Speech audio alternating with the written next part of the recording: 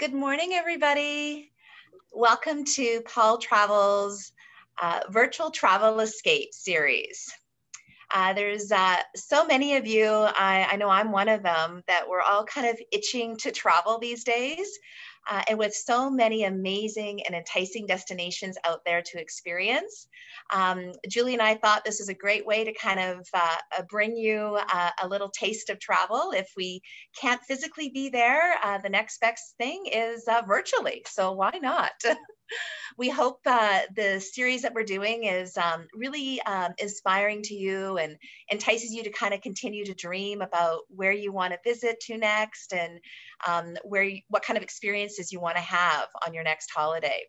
So I'm Rhonda Span, the leisure manager at Paul Travel, and my lovely co-host with me is Julie Bekdashe. Good morning, Julie. Good morning. Hi, everyone. Welcome. So, thank you all for taking the time this morning and uh, escaping with us and uh, having a little taste of Spain. Uh, I know we're both really excited to be sharing this with you all, and um, we're welcoming back a, an amazing um, guest who's actually uh, joining us right from Spain. So, uh, it's going to be a really exciting morning. So, thank you very much. Mm-hmm. If uh, any of you are first timers joining us, welcome.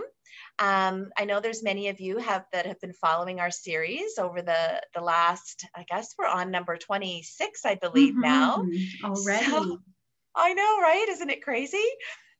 So thank you so much. We really do appreciate your feedback and your your support, and it's it's really great that we're able to do this for you all.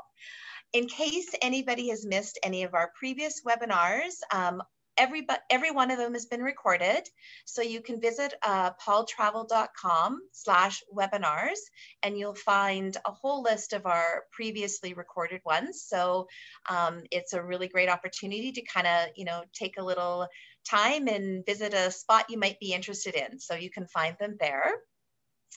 Um, if you have also, if you have any um, comments or uh, questions about any of the webinars, please reach out to Julie or myself. We're here. Uh, we're here for you anytime. So send us a little note. We're, we're happy to uh, answer any of your questions. Uh, so next week, um, we're going to be bringing you Colombia. So a little uh, trip to South America. So that'll be really good. Um, next Thursday again, November 5th at 4 p.m. Edmonton time. So join us then. I think it'll be really good. Everybody's on a listen mode. So if you want to ask any questions, please do throughout the presentation, just type them in the Q&A box. Um, Julie's gonna monitor them. So we'll ensure that all of your questions get answered at the end of the presentation. And any comments too, put them in the, the chat box. Maybe you guys have been to Spain you know maybe you experienced a, a really unique um, uh, experience, I guess you can say, or a, a, tour or a restaurant or something like that. So, love to hear from you. So, please uh, type it in the chat box. It'd be really great.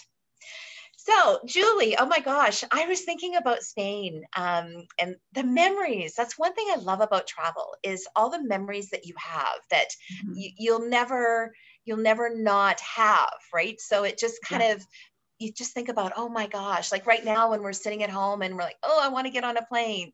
You know, you think about Spain and I think about the amazing architecture in, in mm-hmm. Barcelona and, you know, Seville, all the, the Moorish influence and listening to the flamenco or watching the flamenco dancers and hearing that Spanish guitar, it just like, oh, transports me. It's so amazing. Yeah. How about you? Have you been? No, I haven't been yet, but I would love to. I'd love, love, love to. So definitely high on my list. And I feel like uh, these presentations just give such a good time. Like we have the time now to like plan out trips. I think that's when I'll do is Spain, plan out a trip, and when it's time, just kind of plug and play. exactly. So, yeah. Yes, it's perfect. yeah, definitely. And so much, so much uh, to see. Love all the festivals and everything. So I'm excited to hear from Julia about it. So yeah. Yes, yes. Awesome. Excellent. Um, well, I will uh, introduce now uh, back. We've had Julia on before, like Rhonda said, on she presented on Portugal, and um, we got great reviews, and so we're so happy to have her back. So Julia, she is the associate director of sales and marketing for Made for Spain and Portugal, which is a destination management company that we um, we use, and they help to create like she she we work with them to create really unique experiences for um, for you, our clients. And um, she is originally from um, the USA, from Pennsylvania, and she spent lots of time. Uh, she grew up in a hockey family and spent lots of time in Canada for tournaments and stuff. And then she spent her her adult life on the Iberian Peninsula as a travel writer, and then now she's settled in Madrid. So um, it's so nice to have you with us, Julia. I'm happy, to, I'm excited to hear about all your favorite spots and just get all the inside info from you. So welcome back so much. So happy to be here. Welcome. So feel free to take it away. Right, and, um, take it away. All right. Yeah. Let me share Any, screen yeah. here. If anyone's been, we'd love to hear again from you in the chat. All right. Well, thank you so much, ladies. I'm so excited to be here with you again and today sharing a little bit about Spain. Um, so as uh, Julia and Rhonda mentioned, we are uh, Paul Travels partners here in on the Iberian Peninsula, both Spain and Portugal. And um, what we really do is uh, try to connect them and their clients uh, to Spain for insiders, Spain that you wouldn't experience on any tour, uh, just on a generic visit. We want you to fully immerse yourselves in Spain, see what your life would be like if you lived here for a time, if you moved here for tomorrow, and really see Spain through the eyes of a local. So that's what I'm going to try to share with you virtually today. We're limited on time, so I'm not going to go too deep into uh, all the details in the history. Of course, Spain has quite a bit of it, um, but just a little overview of the different regions of Spain, uh, the different ways you can experience it, and how we can uh, take uh, your experience a little bit above and beyond and a little bit more immersive. So first, the big question, why Spain? Well, Spain, for such a, a, small country, is really chock full of uh, history. Um, from uh, we have prehistoric cave paintings from the Visigoths, Roman times, um, up to the period of Al Andalus and the Moorish influence, and to modern Spain and everything in between. Um, so, for the history buffs, it's a little bit of paradise. Um, we've also got incredible culture and art. Uh, Velázquez, Goya, El Greco. Picasso, uh, Gaudi, all from Spain, um, and all can be visited and seen really in their home country and can't be appreciated any better than they can be appreciated here. Of course, we've got our natural wonders, the lush national parks, the mountainous regions. Um, we've got skiing, we've got incredible wildlife from bears to lynxes to wolves to whales um, to get a little experience of the natural wonders of Spain. Great for the hiking, the biking, and of course, our stunning beaches all around the coast. Um, and my personal favorite, the gastronomy. So Spain is known for our tapas, um, our small plates. Uh, they can be the most humble of plates to um, something at the Michelin star level. Spain is known for its plethora of Michelin star levels, home to uh, restaurants, home to the second best restaurant in the world, Celler de Can Roca. Uh, and uh, just kind of everything in between. So if you are looking to eat and drink your way through a destination, Spain is certainly a place to consider. Um, so that's just a little bit about Spain, but let's go a little bit deeper. I'm going to take you by the different regions of Spain today. One of the coolest things about Spain that not many people know is that it's made up of 17 autonomous communities. So those are states, basically. Um, and each state really has its own culture. Some of them even have their own languages. Um, so you can't really experience one Spain. You kind of have to experience a plethora of the regions to really start to understand it and to get that Span that Spanish uh, culture seeping into your skin. Uh, so today we're going to touch on all of those regions to give you kind of a vision, and you can see which one maybe you connect with the most. Um, if any of them call to your attention, make sure to let us know at the end so we can discuss a little further. So I'm going to start today with Barcelona. Barcelona uh, is, I believe, a city on everyone's bucket list. Uh, it is just a powerhouse, um, known, of course, to be the home of Antoni Gaudí, uh, the incredible modernist uh, architect, um, with his Sagrada Familia, uh, along with many other works like the Güell. You have his, his houses, um, but the Sagrada Familia is certainly what he's most known for and will hopefully be finished in 2026 we don't know with the craziness of this year, it might be pushed back a little bit, but of course you can still visit it. Um, and really understanding the importance of modernist architecture in the development of art in Spain, experiencing it in private, experiencing it with the architects who know and study um, under, uh, under um, Gaudi's um, students and um, really immersing yourself in uh, who Gaudi was. We can organize experience to the Güell family home. The Güell were the patrons of this park you see on the right. Um, their home just outside of Barcelona, and the home is done all in a modernist style. So seeing that style in a private setting, um, it really uh, helps you to understand what that movement was and what the importance uh, of it was in the development of architecture, aside from just being visually stunning. Aside from the modernist architecture, of course, Barcelona is rich in many other things, um, being one of the most important ports in all of Europe uh, for many centuries. So the historical quarter is a can't miss. We have the Gothic quarter, we have the Jewish quarter, um, and we have uh, the Gracia quarter, which is where people have really flocked to, where the hip people are living nowadays, not in the historical quarter. So we love to combine those um, the different neighborhoods. So you can see the history in um, in the center of the city but really also go out to where people are living and understanding what life is like as a day-to-day um, Barcelonite uh, and uh, maybe visiting the different ateliers of the up-and-coming designers. Barcelona is the place to go for the fashion designers in Spain. Going to a shoemaker to have um, to his private uh, studio and having shoes made for you, or maybe going to a hidden library, um, sorry, hidden bookstore um, uh, library. The, the word for for library for bookstore in Spanish is libreria, which I always confuse with library. Um, library, uh, which has many of uh, Gaudi's copies of his private books, which are no longer uh, widely circulated. Um, so visiting that with a Gaudi expert is something very special, and uh, just getting to know once again the history with that sort of lifestyle and hidden story um, at the same time also many other historical places uh, that are a little bit more modern.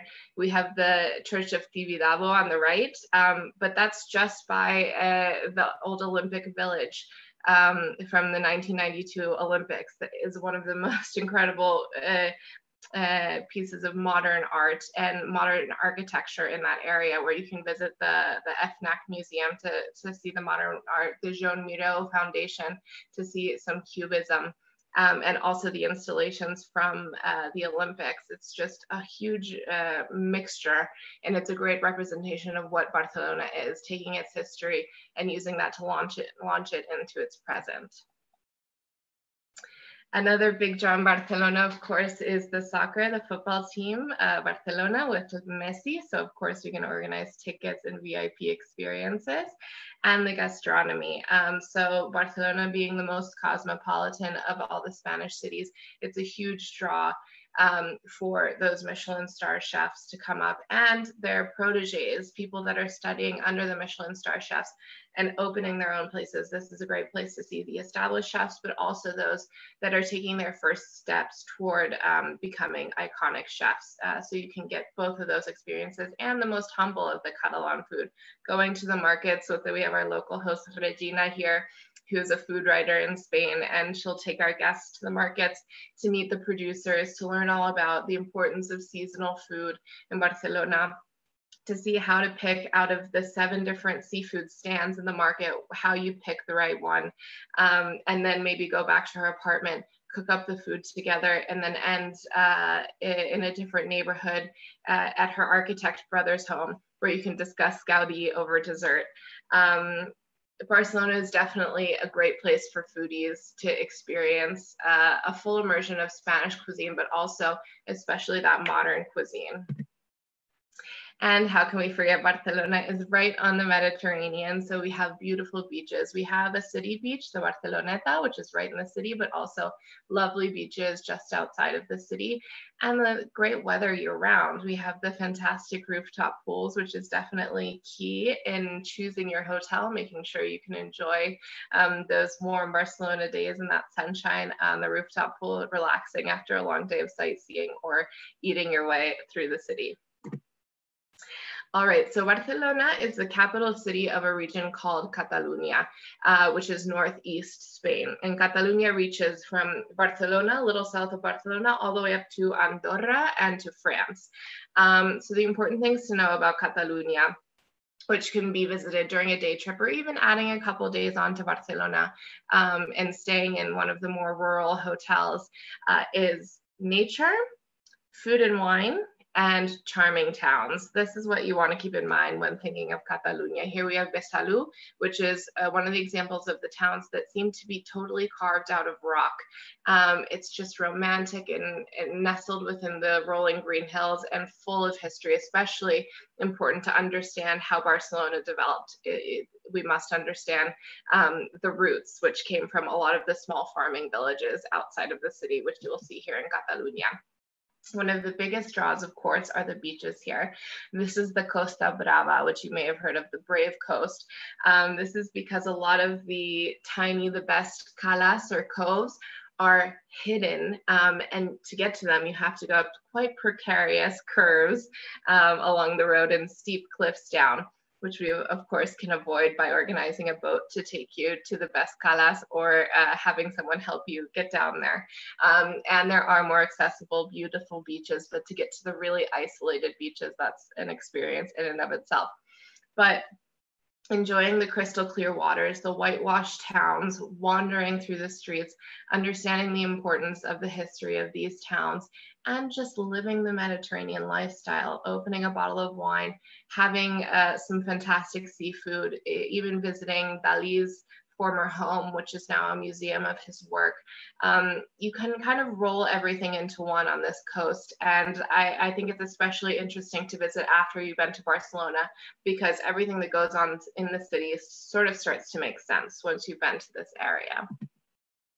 So aside from visiting the charming villages, uh, we've also got fantastic nature. This is where uh, the people from Barcelona love to come to spend their weekends, to go biking, go hiking. Here we have La Garrocha, which is an inactive volcano. Um, we love doing hot air balloon experiences here, but we can also do multi-day bike trips. Um, uh, just the rolling green hills uh, in you get to the peak and you can see the Mediterranean in the in the background. It's just one of the most stunning experiences.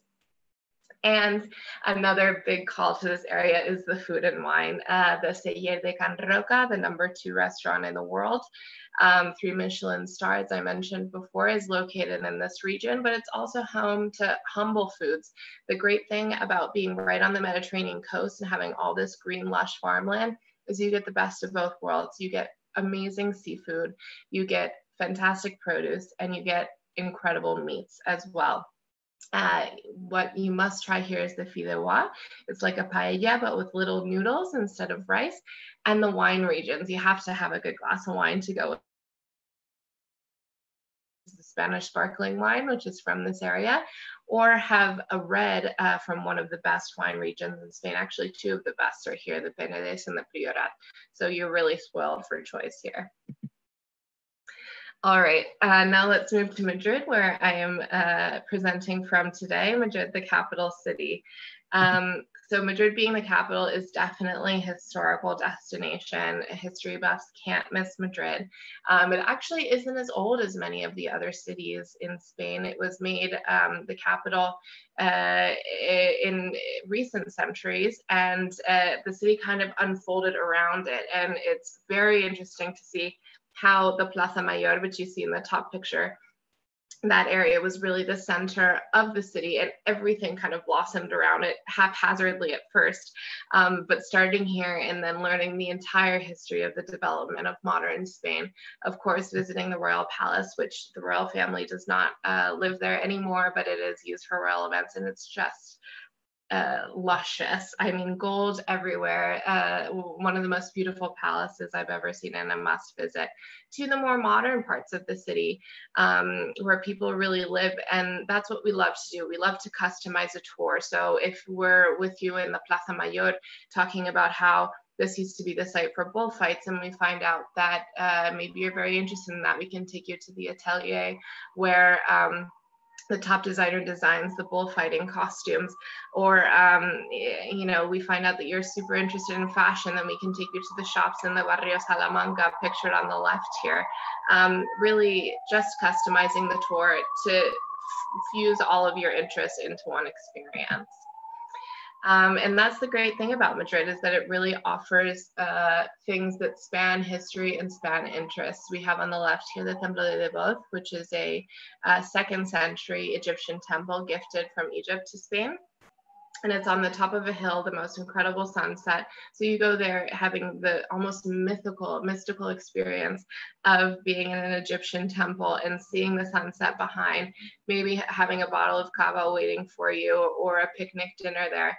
Um, just something to really breathe in the city and its specialness. Two, well, all that rich Spanish history that I mentioned before, there in Plaza Mayor in the middle and then we have modern Spain. So this is something that we're seeing a lot of interest in, uh, people having interest in. How is Madrid as a city uh, in modern day? How is it responding to basic things like uh, gentrification, pollution? What are we doing? One of the most interesting solutions to this is uh, the picture here on the right. This is a bridge in the Madrid River Park. So this park was built only a few years ago when um, there was a big separation between the center of Madrid and southern Madrid by a seven lane highway. And uh, the southern part of Madrid was becoming underserved because of that. It didn't have easy connections into the city. So the, the city responded to it by covering that highway, putting everything underground and covering it with a 10 kilometer park, kilometer long park. I play tennis there every weekend. It's stunning and such a resource for us living here. But the best part is it's a response to the social difference. So we have um, now these bridges all divine, designed by different architects, but uniting the two neighborhoods. So now the people in the southern Madrid are have the resources that the people in the center of Madrid have, and it's had a huge response. So we can create a tour around that if you're interested in on how a modern city is developing here in Europe. And I can't leave Madrid without discussing the art. Um, we can really travel through Spain's history with the art here in Madrid at the Prado. Um, this is where you're going to see a little bit of everything and the greats. I mean Velázquez, I mean Goya, I mean El Greco they're all there. And uh, one of our uh, one of our our guides, we continue with an art expert. We continue with an artist himself. We continue with someone that's going to take you back to his studio so you can paint your own picture um, from your inspiration in the in the museum, or even set up a scavenger hunt. Um, for the kids in the museum um, uh, to enjoy the classical art, or head across the street to the Reina Sofia, which is uh, the Modern Art Museum. This is where you're going to see a lot of explanation and start to understand modern Spain uh, with the modern art. We have Guernica by Picasso here, but a lot of it is response to the socio-political developments um, since the dictatorship up until now. Uh, so if you're interested in the modern history, this is a place that you must go or to the tiny museums. My favorite museum is the one pictured right in the middle. That's the Sorolla Museum.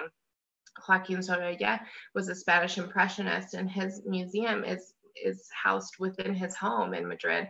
This beautiful mansion in the center of Madrid with a secret garden inside, which is one of my favorite places to go uh, when I've had a you know a chaotic day and just kind of disconnect with running water fountains everywhere, this painted Spanish tiles, and then his artwork inside.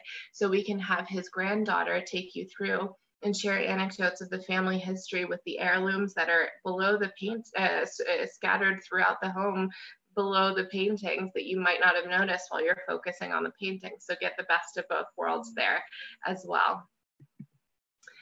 And the great thing about Madrid is you can really explore the heart the heartland of Spain from there in Castilla.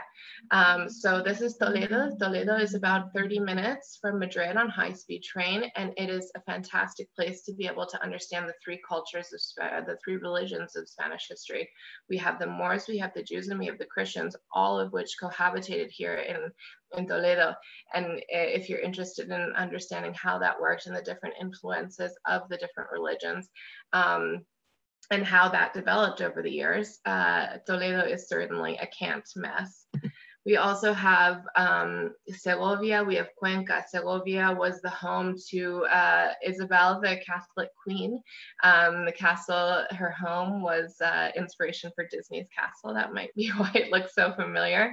Um, but uh, visiting Castilla is key to understanding, especially uh, the development of Spain from the Moorish period, the reconquering, the Christian reconquering of Spain, because this is where the birth of that movement happened. So visiting Segovia, understanding that history, visiting Cuenca with its hanging houses, and uh, seeing what a small Castilian village is in that old way of thinking.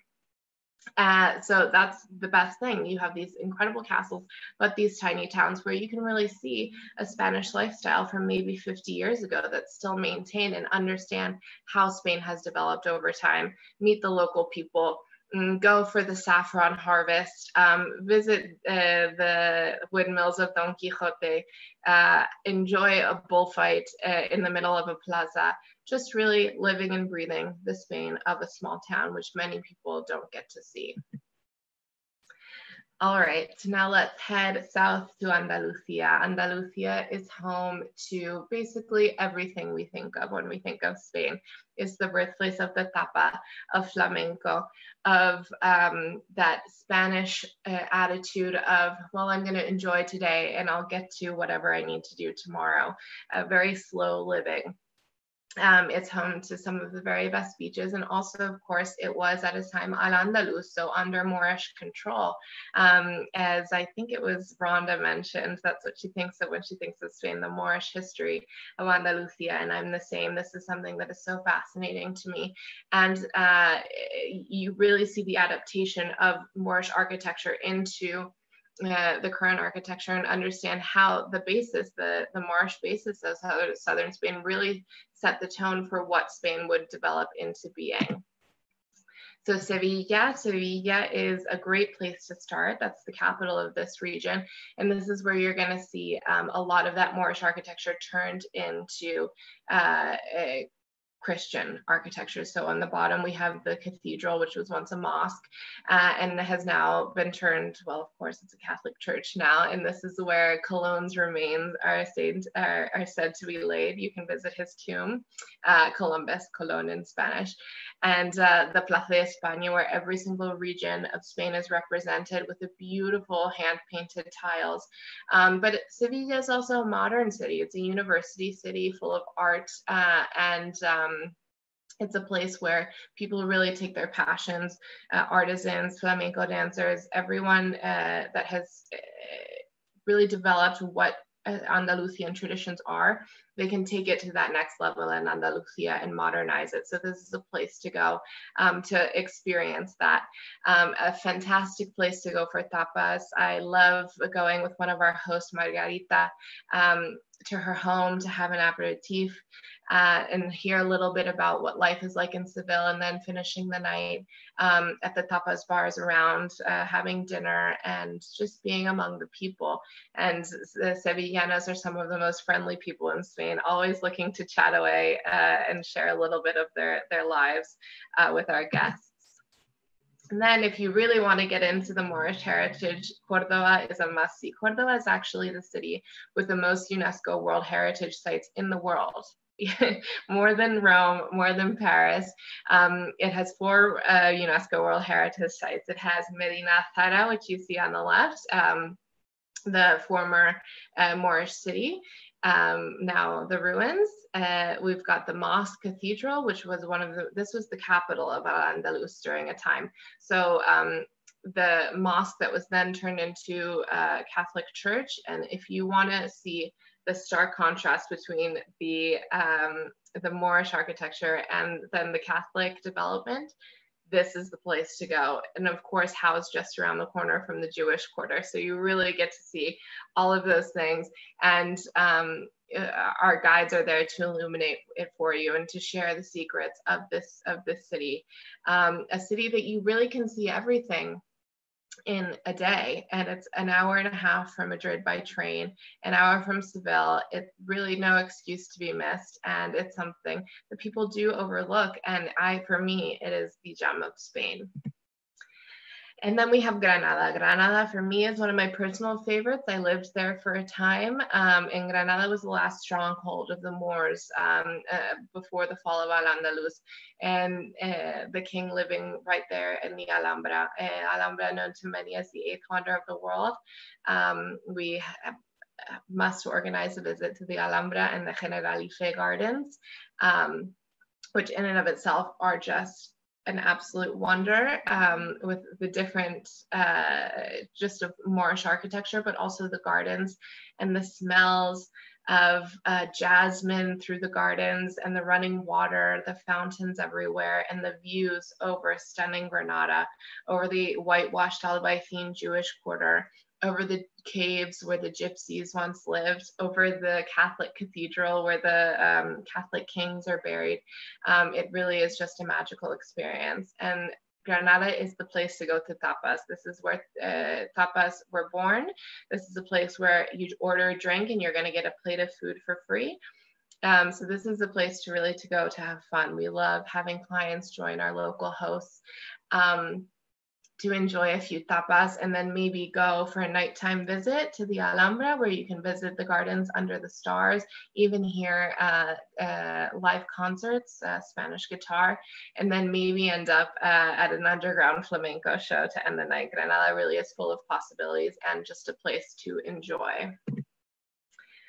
And one of the most important parts of Andalusia, which some people, many people actually miss, are the whitewashed towns, the pueblos blancos. The pueblos blancos are all over the hills of Andalusia and um, usually built surrounding a church or a palace stronghold.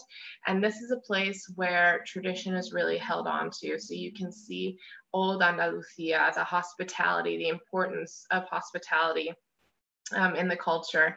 Uh, you can see really just how this area of Spain developed from Moorish times until now, um, with their tiny museums and even just walking along the streets with our hosts who can share the the secrets around each corner and then ending up for lunch of um, maybe some fried fish and some sherry wine also from this region um, and and sharing stories about about Andalusia and life in a tiny town in uh, in southern Spain today. And of course, we have our beaches. We have both um, Mediterranean beaches and Atlantic beaches in the south. So Mediterranean beaches like Marbella are more of the posh areas. This is where you're going to find the beach clubs, um, a lot of yachting, um, and of course the, the pristine uh, Mediterranean waters. And then on the other side of the coast, Cadiz, which you have in the picture on the left, is a much more humble town. And these are where you're going to find the the wild Atlantic beaches. Um, this is the windsurfing capital of the world. This is where the best tuna in the world comes from, atún de almadraba, which is fish in a very specific way that was brought over by the Moors. And we can take you out to experience, not experience because it's actually quite dangerous, but to see it up close. Um, and then, of course, to taste that tuna. Um, it is just a, a, a powerhouse region and some of the most beautiful beaches in all of Spain and you can get you can't miss the outdoor activities from hiking the olive groves maybe setting up a beautiful table to have a tapas lunch with some sherry wine uh, in the middle of the countryside or get out on horseback um, experiencing the natural wonders of andalusia the iberian lynx perhaps going out uh, for a sighting. Um, that's uh, something that can't be missed in this region all right, I'm going to take you up to northern Spain now. Um, so this is a region for wine, food, and gorgeous architecture here. We have the Marques de Riscal winery um, made by Frank Gehry. And uh, it's really emblematic of this region. This is, so this is a place where people are taking the traditions of winemaking uh, and uh, the traditional foods and elevating it, taking it to that next level. So uh, La Rioja is full of tiny towns, and this is the, the tiny towns that have developed around uh, these areas where the best produce are growing. So the grapes are growing, where the fantastic vegetables are growing. Everything comes from the earth here. So visiting the tiny, charming towns and understanding what their product is, what they're growing in this region, how they make it, um, allowing our hosts to take you into the homes of, of the residents and really understand how the earth gives them what they need to make a living and to produce the most delicious products um, that we've ever tasted, tasting that with them, and just understanding really how the family dynamic develops around around this culture. Um, you know, heading out into the vineyards and picking the grapes yourself, stomping them, uh, having that experience from the vineyard to the bottle, uh, biking through, uh, just lots of um, activities involved that, that involve the earth and involve the, the produce that's that's being made there um, and visiting the coast, heading up to the coast to Basque Country, uh, where we have these tiny towns. Um, a lot of Game of Thrones filmed here for the Game of Thrones fans, but um, visiting the small towns and the rustic towns, everything in this area of Spain. This is north northern Spain. This is where it gets cold, it rains a lot, it gets snowy. So everything was built to be cozy. That you're going to duck into this tiny tavern when it starts raining down. Um, in the Basque language, they have uh, something like 30 different words for rain. Um, so everything was really built for the rain and to be able to enjoy life in the typical Spanish way, but in a rainy climate. So this is where you're going to get that really cozy, uh, rustic sort of feeling. Um, and then San Sebastian, of course, is the jewel in the crown of the Basque country. Uh, so this is the place with more the most Michelin star restaurants per capita in the world, um, and also the place for pinchos, which are like tapas, but with the little uh, toothpick through them. You'll walk into bars full of the pinchos, um, and it's uh, one of the most exciting gastronomic experiences. But the thing about San Sebastian is that uh, it became very popular recently.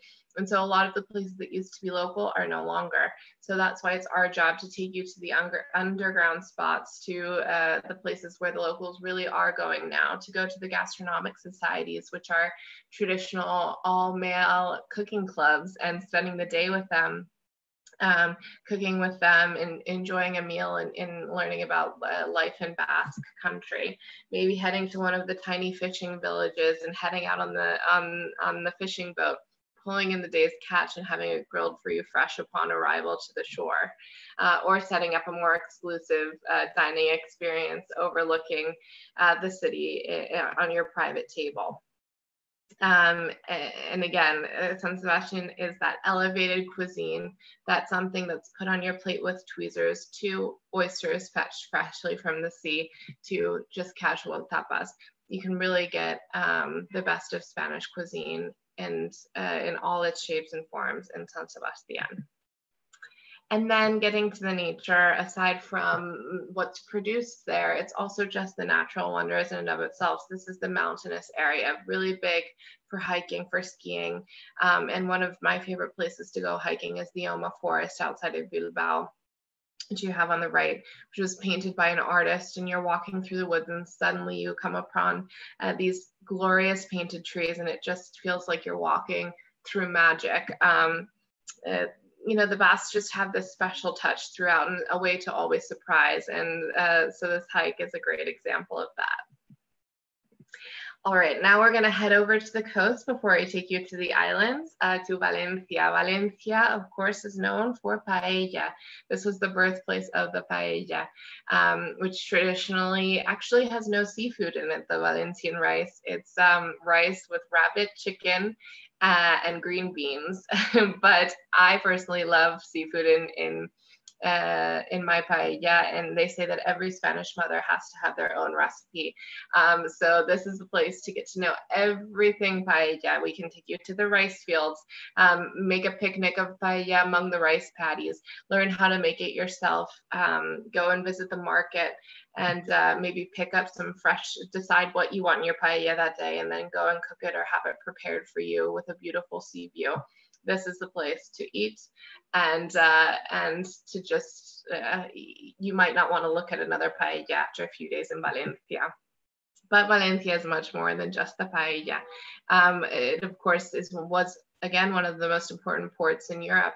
Um, so exploring the historical quarters with our guides, understanding the history and the industry that uh, Valencia has had, and Modern Valencia. This is the, the City of Arts and Sciences, a project by Santiago Calatrava, which if you're not interested in science, an architectural wonder in and of itself, absolutely worth a visit, but also um, home to incredible uh, uh, aquarium, uh, the science center, the science museum. It is really a unique project and something um, that should not be missed on any trip to Valencia. And of course, we have the beaches, um, the beautiful Mediterranean beaches with the calm, warm waters right in the city and also surrounding. So you can get um, uh, spend the day exploring and then head out to the city beach or spend the day, uh, maybe drive an hour outside and find a secluded beach. Um, you, you, whichever is your speed, you can find it there in Valencia. All right, we're gonna end our little trip through Spain in the Balearic Islands today. So it's just a quick flight, you know, about 40 minute flight uh, from Madrid, or you can even take the ferry, an hour ferry from Valencia over to the Balearic Islands. The Balearic Islands are Ibiza, Formentera, Mallorca, and Menorca. And of course, the reason to go to these islands are for their beaches. They have arguably the best coves in all of Europe. Um, again, some of the best ones are hard to reach, and that's what we're there for. Uh, we absolutely suggest going out on a boat and having um, anchoring the boat in the little coves, and so you can swim and enjoy. Maybe swim in to enjoy a fresh fish lunch in one of the beach shacks or beach clubs. Um, but this is a place that, uh, with some of the best sunsets in the world, those crystal clear waters, it has great um, weather all year round, uh, and it is uh, just a really magical escape. And aside from the beaches, there are other natural wonders. This is a huge destination for hikers and bikers. We've got glorious mountains with these this lunar landscape, the pine trees and lush greenery with the Mediterranean Sea behind. Uh, I'm not a biker or a hiker, but this absolutely motivates me to, to get out there. Um, and some of the best bikers in Europe coming to do the winding hilly roads, which is a fantastic place to train, but it's also great for beginners um, that we can set up with, with a hiking and biking guide to enjoy the natural wonders. And for the history buffs, not everyone's a beach person, so we can take you to the tiny towns of the islands, like Valdemosa, uh, where Chopin had his home and was uh, one of his greatest inspirations. Or Deia, this tiny uh, city that's uh, carved out of rock in the middle of uh, Mallorca, or the Cathedral of Palma de Mallorca, which is one of the most uh, important pieces of architecture in Spain, and also um, an incredible example uh, to take you through the Catholic history of the islands as well. So that's all for me today. You know, Spain is, is uh, a small country, but full of things to do. So I just touched on a little bit. Um, and uh, uh, of course, any questions you have, I'm happy to answer them. And um, we would love to welcome you anytime. So thank you so much. Gracias, gracias. Thank you so much, Julia. It's it's uh, covered, covered a lot of territory, and it's uh, it's just going to be a matter, like you said, of choosing if there was one uh, region that kind of um, you know um, resonated with you, then uh, plan your plan your trip around that. Can you also just mention? Um, I know the the other thing is that Spain has a lot of festivals, like the Fallas Festival, Tomatina. You hear the running of the bulls. Um, is there? Um, can you just speak to those with the different times of year in that? Absolutely. Well, um, that's the thing is Spain is full of festivals, so uh, it really depends. Uh, there, scattered throughout the times of the year or uh, throughout the entire year. Um, but we do have uh, the most important is Las Fallas in Valencia in March.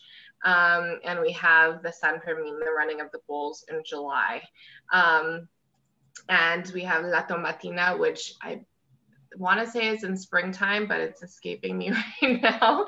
But um, so those are extremely important. Those are some things that now unfortunately have been suspended, but we're hoping that when things calm down, they'll pick back up. But that is if you want to experience the Spanish fiesta and the Spanish just revere for their own history and traditions, coming for a festival is key to doing that. Also Semana Santa, the Holy Week. Um, where you can see the processions, especially in Andalusia. That is uh, a really uh, special experience to be had. I bet, I bet. And um, I know um, we were talking earlier, but maybe you can just mention what like what is your favorite time of year in Spain? Sure. So uh, my favorite time of year, and I think that of many of my colleagues, is is the off season. So that would typically be from November uh, to about April, um, and we we enjoy temperate weather here. It's you know uh, like 22 degrees here in Madrid now, um, and sunny about 300 days of the year. And this is what in the summertime, everyone's at the beach. Everyone is out enjoying. Everyone abandons their real life. It's also the Spain. A lot of people get the month of August off, so they just completely abandon all of their duties and and head to the coast. So when you visit the cities, you're not experiencing the city as it is with people living in it. Where, whereas if you come in off season, everyone's back to your routine. You head to the local bars, and the locals are going to be there enjoying their tapas right next to you.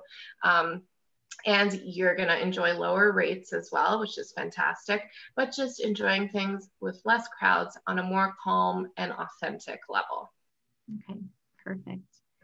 Um, and just one other question about is there a certain, like, I know that um, the train system is pretty good, but is there certain uh, regions, maybe in the north, that you'd say it would be better to rent a car and drive, or like yes. rather than others? Absolutely. So if you go to the north, I would definitely recommend uh, renting a car, especially in the Basque region that I mentioned. Um, that's full of tiny towns that are great to explore by car, and uh, a lot of them are a little more remote. Um, so that's that's a really nice a nice area, and there are a lot of wineries as well. Um, so if you can have a designated driver to take you around, that's that's ideal. Um, but just keeping that in mind. And um, Andalusia in the south is another great place to to uh, to get around in by car to visit those whitewashed village I told you about. Okay. Okay. Perfect. And what about? Um, I know it's really um, popular the Camino Trail. Mm-hmm. Um, do you want, could you mention a little bit about that? Absolutely. So the Camino de Santiago, the St. James Way, um, it ends up in, in Santiago de Compostela. So that's on the western coast of Spain, the northwestern coast. And that's where the remains of St. James are said to be laid. So it's a pilgrimage for many people. It started, of course, as a Catholic pilgrimage, but now it's a spiritual pilgrimage for many people, regardless of religions. Uh, but the traditional way to walk it is from um, southern France all the way across northern Spain. Uh, and it can take uh, six weeks or so to walk it. Um, one thing that our clients do a lot is start uh, maybe three days walking away from, from Santiago, and you can still get your pass, uh, your, your Camino passport stamped and say that you did it. Um, but it's a fantastic way to see the country because you're you're going places that are unreachable by car you're walking through there in places that most people miss. Um, also this happens to be one of the best food and wine regions as well. So a lot of people welcoming the pilgrims into these tiny towns welcoming you with great food and wine. You meet a lot of people along the way. Um, it is a really special experience and just the, the some of the most beautiful um, areas of spain that you pass through. Amazing. Perfect uh, I don't think I have any more questions. Ron, did, did that bring back some memories for you, those pictures? It sure did. Absolutely. you know, and just some of the, I have to say that I spent a little time in Seville, and um, one of the things that we did when we were there, not that I am a supporter in bullfighting by any means. I didn't mm-hmm. want to go to a bullfight or anything like that, but I found it really interesting. We went outside of Seville and we uh, attended one of the ranches where they have the matador training so the up and coming mm-hmm. matadors. And so we kind of met them um, they explained what they do in the training process and and you know how they do treat the bulls. And so it was actually really quite fascinating and just a little snippet of the history and and you know the culture of why it started. So i thought that was actually quite fascinating and such a um, a highlight really for that area I, I didn't want to go to a bullfight or any of that yeah. but it was really quite fascinating Absolutely. I'm I'm the same as you. I'm pretty anti bullfighting, but uh, I mean that's what we really strive to do is get to the root of it and understand where these things come from and understand just uh, everything that surrounds them. So going out to those ranches or something so special, and also just to see the way that the bulls are revered and take. Mm-hmm. I mean they live quite an incredible life yes. um, yes, before they, they go out. Very very well taken care of. Yes. Yeah. Yeah. But um, it is a very special experience. Yeah. I know it's a country that I want to go back and explore so much more. And I've heard there's a place called Ronda. yes, there is. One of my favorite a, a must visit for me. You'll be famous there. yeah, exactly. Got to be famous somewhere. Might as well be in Spain. Absolutely. Oh well, thank you, Julia. It's such a pleasure to have you, and it's so nice that um, you know you can I just love that your product is not generic, that you know you you have all the inside information, the connections, just being able to sit with someone who's from the area and be able to um, I think people are just really longing for those really authentic right. local experiences and and getting to meet the people and just hear about their everyday life and and just talk with them. I think is um, is so important and just really gives depth to a place. So thank you for being able to um, offer that and um, yeah, and just oh, share a little bit about your country. And yes. we're happy. Thank you, my pleasure. Yeah, I can't wait to um, come back and and send people there as soon as it's safe to do so and people are ready. So um, enjoy the rest of your evening. Thank you guys again, all of our um, guests who are, have joined us today. Thank you so much for your time. Um, we love having you with us and we look forward to um, next week. So enjoy the day and the evening, everyone. Thanks, Thanks so again, much. Julia. Goodbye, everybody. Thank you. Bye. Bye.